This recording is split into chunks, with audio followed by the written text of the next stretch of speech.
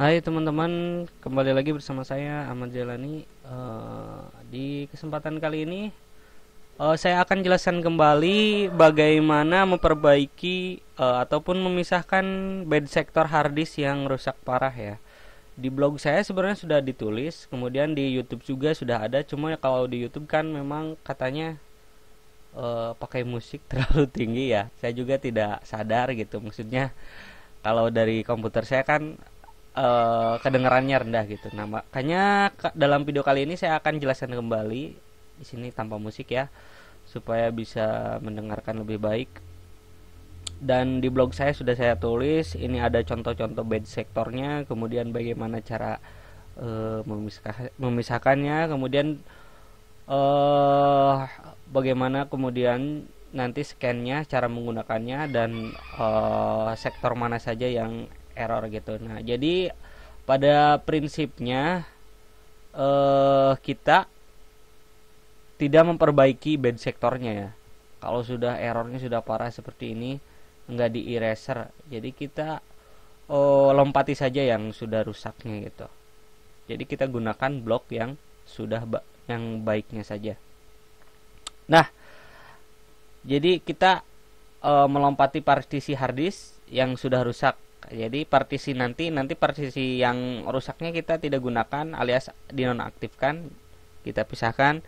Kemudian e, partisi yang bagus saja yang akan kita pakai. Nah sebenarnya saya sudah pernah mengalami kasus seperti ini dan e, bisa ya bisa bisa diperbaiki. Maksudnya bisa bukan diperbaiki dilompati gitu Nah, caranya saya akan gunakan di sini adalah uh, Victoria ya. Di Victoria juga ada di bagian di Hiren boot CD. Jadi tidak disarankan juga untuk booting dari hard disk yang rusak, tapi dari flash disk yang berisi Hiren. Kemudian nanti gunakan uh, Victoria ya.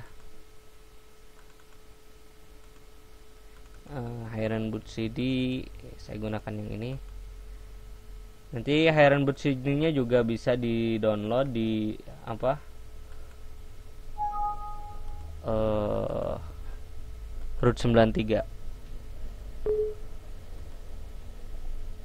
nah oke okay, sekarang saya sudah uh, membuka Heron Boot CD di sini. Kemudian saya akan uh, gunakan di sini partition ya bukan partition ya benar Victoria. Nanti cari Victoria saya lupa lagi. Uh, sistem information bukan testing ya. Nanti klik program kemudian testing pilih Victoria ya. Untuk cara menggunakan Victorianya pun ada di blog saya ya di root93.co.id nanti cari cara menggunakan Victoria. Yang paling penting nanti uh, pas saat kita scanningnya ya tahu indikatornya. Contoh uh, kayak seperti ini ya. Nah, di sini ada LBA, kemudian NLBA, kemudian block size, kemudian timeout. Kemudian di sini ada berapa megabyte dari uh, eh, LBA yang kita scan gitu. Nah, di sini di bagian Victoria di sini uh, Victoria versi 446B freeware ya ini. Ini hard disk saya Hitachi. Kemudian uh, di sini ya ada informasinya tapi di sini saya scannya menggunakan harddisk utama ya. Menyekan e, menggunakan harddisk utama. Kemudian harusnya kalau dalam contoh kasus kalau misalnya bed nih harddisknya maka kita gunakan dari flash disk itu tidak boleh booting dari sistem operasi yang memang sudah parah misalnya e, bed sektornya. Karena kalau sudah parah biasanya sistem operasi akan sangat lambat untuk diaksesnya Nah, oke okay, sudah dibuka ininya. Kemudian kita bagian tes. Di sini saya jelaskan kembali ini start RBA dari 0 ada sekitar 1 2 3 4 5 6 300 juta LBA ya di sini yang akan kita scan. Oke, okay, kita klik start. Di sini mulai uh, melakukan scanning. Nah, untuk di sini uh, normal ya. Untuk tanda-tanda ini nanti bisa dilihat uh, apa namanya? Penjelasannya di blog saya di root93.co.id cara menggunakan Victoria ya nanti untuk memisahkan bed sektor untuk mencari bed sektor. Nah di sini adalah jumlah LBA di bagian merah di sini, current LBA yang sedang di-scan dan ini jumlah dalam satuan megabyte-nya. Oke. Di sini untuk pre berapa persen yang sudah di-scan. Nah, misalnya kita tahu di bagian ini sudah bagus ya, kita lompat saja langsung ke misal uh, eh, 40 juta ya, misal. Kita start. Eh maaf. Di sini ya, start LBA misal bukan di, di sini ya tapi rubahnya di sini. Misal 40 juta ya. 1 2 3 uh, 4 5 6 sudah 6 7 ya. Sudah kita klik start.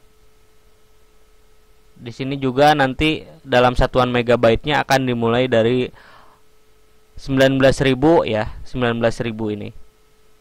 Kemudian di sini juga dimulainya dari 40 juta jadi kalau misalnya lama kita scan, kalau udah tahu di bagian pertama saat scanning ini udah normal, kita lompat saja, kemudian kita cari bed sektor di bagian uh, apa namanya sektor lainnya, LBA lainnya. Nah, kalau misalnya kita sudah tahu, misal di blok di sini adalah 21 ya, 21 ribu ya, atau sekitar uh, 21 giga ya Nanti caranya kalau kita sudah tahu, misal di bagian awalnya awal di bagian 0 LBA sampai 40 juta itu sudah error. Jadi kita langsung melakukan yang namanya uh, perbaikan ya. Oke, kita lepaskan di sini. Misal di sini adalah apa 21 mega itu sekitar eh 21 jut 21 ribu ya. Sekitar berapa ini 21 ribu? Nanti hitung sendiri ya. 21 ribu itu sekitar berapa giga? 210 giga atau 20 210 ya? Jadi intinya seperti itu. Nanti eh, langsung kita gunakan recovery kemudian pilih nanti testing ya. Saya lupa lagi apa namanya itu uh, softwarenya. Uh, kita gunakan yang namanya partition wijar ya. Kita scan menggunakan partition wijar kita pisahkan menggunakan partition wijar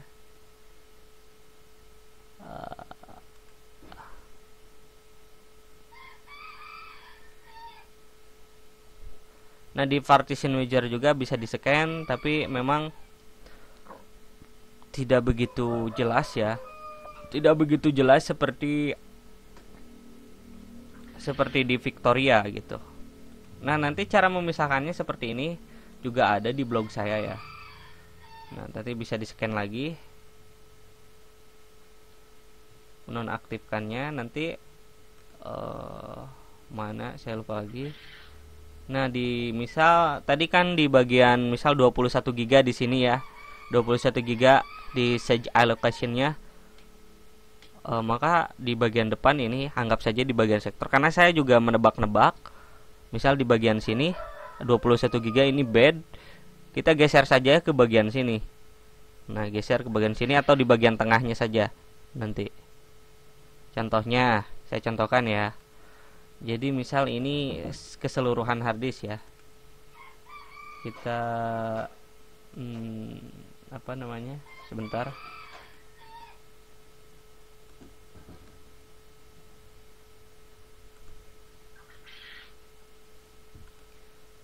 Oh ini saya gak bisa praktek di sini ya. Maksudnya ini juga eh.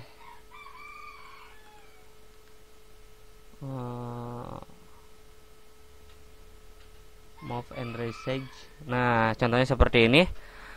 Misal anggap saja ini ada 500 giga ya harddisk saya.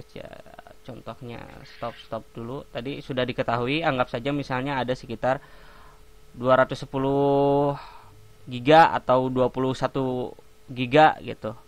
Nah kita stop dulu. Uh, mana stopnya? Tombol stop. Pause. Oke okay, sudah nah di sini ada sekitar oh hard disk saya 149 GB ya. 149 GB misal ada 21 GB yang tadi yang error misalnya di sini ada 149 GB maka tadi misal dari 0 LBA sampai 40 juta LBA error maka tinggal tinggal geser saja misal 21 GB ya. Kita geser mungkin sekitar segini ya. Kita cari aman saja kira-kira saja di sini. Dan kita langsung uh, apa namanya dilakukan partisi gitu. Klik OK kemudian. Nanti cara mempartisinya juga bisa dilihat di blog. Jadi nanti buka partition wizard kemudian klik create untuk membuat partisi baru ya. Selanjutnya di bagian create new partition nanti kalian geser gitu. Kalian geser ke bagian yang tadi tidak error yang kira-kira tidak error gitu. Karena saya menganggapnya dari sini ke sini itu 21 GB yang star RLBA itu 0 sampai 40 itu error misalnya. Jadi kita geser saja ke bagian ini kemudian klik OK buat partisi baru maka nanti ini akan ada partisi yang kosong kemudian nanti juga geser lagi ke bagian samping dan kita buat e, partisi lagi. Kalau sudah selesai Anda juga bisa klik kanan kemudian nanti pilih survive test untuk melakukan tes uh, scanning kalau misalnya ada blok yang masih error.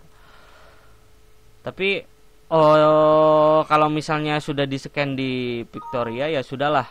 Anggap saja tidak usah di scan lagi di bagian partition wizardnya kalau sudah di selesai di partisi. Nah, jadi seperti itu ya caranya. Pertama kita scan dulu menggunakan Victor Victoria.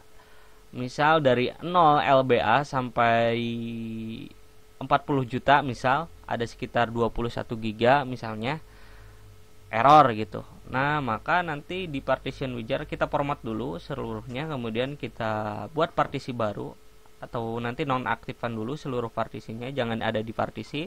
Kemudian selanjutnya kita buat partisi baru dan nanti misal di bagian itunya ya pas create new partitionnya kalian geser ke bagian kanan gitu ya. Ke bagian kanan yang kira-kira tidak error. Selanjutnya nanti buat partisi lagi dari partisi yang tadi.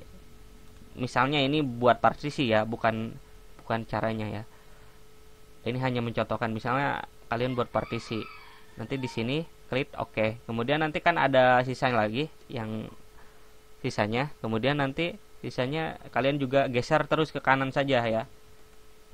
Nah kalau misalnya acak bed sektornya berarti ya saran saya sih kalau sudah acak ya kalian ambil yang tengah atau misalnya misalnya ada di tengah-tengah kalian geser yang ke bagian sini saja yang ambilnya kalau misalnya kemudian di bagian sisanya kalian geser ke yang paling ujung ya kalau menurut pengalaman saya seperti itu tapi kalau misalnya ada penjelasan saya ini keliru nanti kalian bisa koreksi ya jadi caranya seperti itu dan untuk lebih jelasnya juga bisa dilihat di blog saya di root93.co.id.